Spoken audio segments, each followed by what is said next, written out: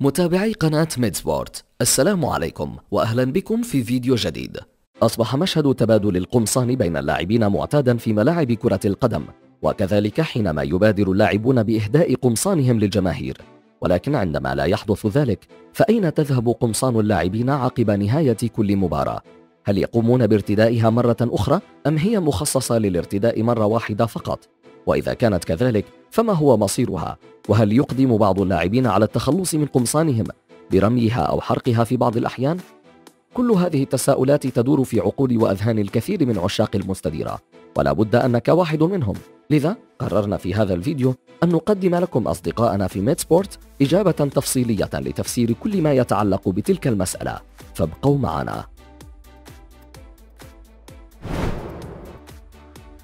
الحقيقة أن ما يحدث لقمصان اللاعبين بعد انتهاء المباراة يختلف بين ناد وآخر ويخضع في المقام الأول للقدرة المادية للأندية في مختلف الدوريات العالمية. فالأندية الغنية ذات القدرات الاقتصادية الكبيرة تجهز في غرف ملابسها ثلاثة أطقم لكل لاعب مكونة من قميص وشورت وحذاء مع جواربه بواقع واحد لشوط المباراة الأول وآخر لشوط المباراة الثاني. إذا ما أراد اللاعب تغيير قميصه حيث يفضل بعض اللاعبين ارتداء قميص مختلف في كل شوط من منطلق تجديد نشاطهم. أما الطقم الثالث فيكون احتياطيا في حال حدوث أي أمر طارئ مثل تمزق القميص نتيجة الالتحامات أثناء المباراة ونظرا لقدرة هذه الأندية ماليا وإبرامها لعقود رعاية ضخمة مع كبريات الشركات الرياضية التي توفر كافة مستلزماتها. فإن لاعبيها يرتدون قمصانهم مرة واحدة فقط وبعد المباراة تتاح لكل لاعب حرية التصرف في قميصه كيفما شاء. فإذا أراد أخذه للمنزل لن تمانع إدارة النادي بل يتم منح اللاعب أي عدد من القمصان التي يريدها على مدار الموسم دون تكلفة بفضل دعم الرعاة.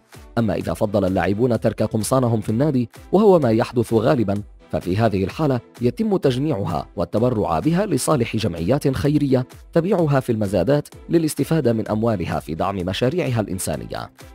أما بالنسبة للأندية الأقل شأنا من الناحية الاقتصادية فهي مقتنعة تماما أن ارتداء القميص لمرة واحدة يكون تبذيرا ولذلك تقوم بتوفير صندوق لوضعه في غرف خلع الملابس من أجل تجميع قمصان اللاعبين بعد انتهاء المباراة ليتم غسلها جيدا وارتداؤها مرة أخرى ويتم استخدام تلك القمصان بين أربعة وستة مباريات بحسب جودتها.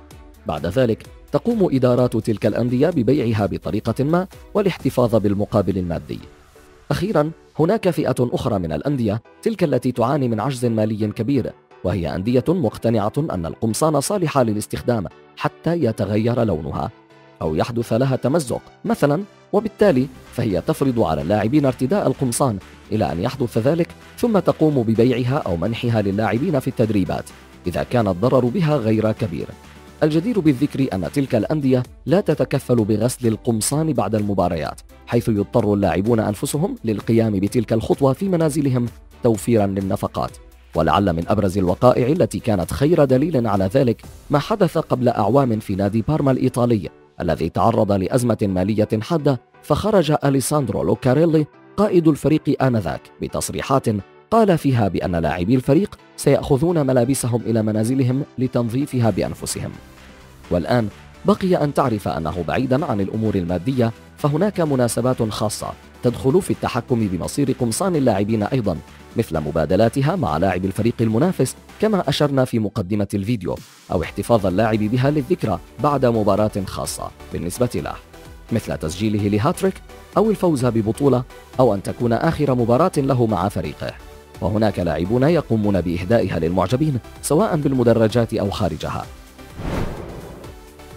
في الختام يمكن اختصار الحديث بالقول إن مصير قمصان اللاعبين تتحكم به قوة الفريق المالية وسياسته العامة إضافة لعقلية اللاعب وخصوصية بعض المباريات.